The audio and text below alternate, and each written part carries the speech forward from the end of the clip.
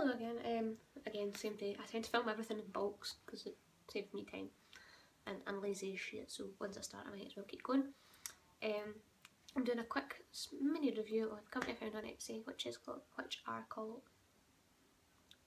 my tongue will come back to me, Sticky Neon. I found them, they're kind of like a hippie boho, like kind of handmade clothing company.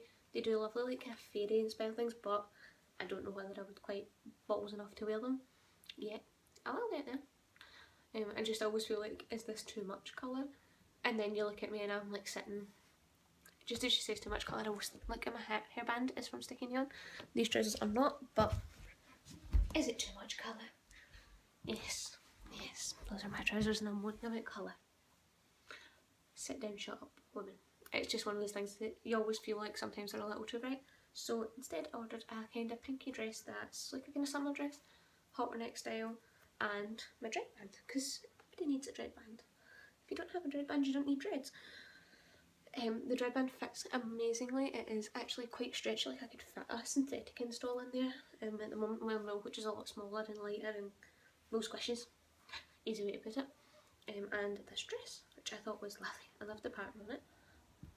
Again, it's just a simple halter neck style, kind of plain, with a little fancy bust line, and it goes down and completes the wee pattern around the bottom. Um, it's again, it's quite a thin fabric, but that will be good. Peanut in the summer, little invader again.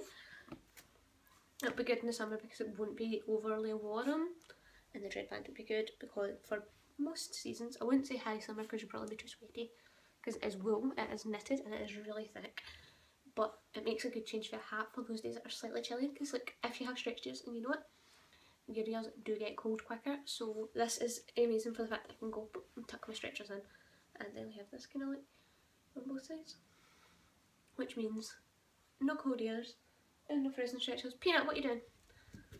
He's sniffing something. Anyway, five stars delivery was really quick and um, postage was quick postage costs quick. Um, the price of everything was not expensive. I think that was only like five pounds, and I think that was like ten. Guesstimate, can't remember. Peanut, stop being a nose. He's being a little sniffer of everything. If he would just sit here, it would be fine. So noisy. But anyway, and Peanut fell. Peanut falls over sitting down. He's a silly dog.